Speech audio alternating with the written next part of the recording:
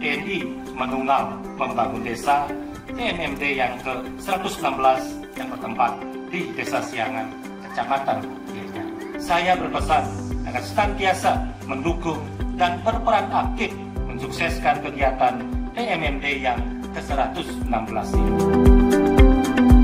Dengan mengucapkan Om Aidina Mastu Lama Sidem, TNI Mendungal Membangun Desa, TMD yang ke-116 di Desa Siangan, saya buka secara resmi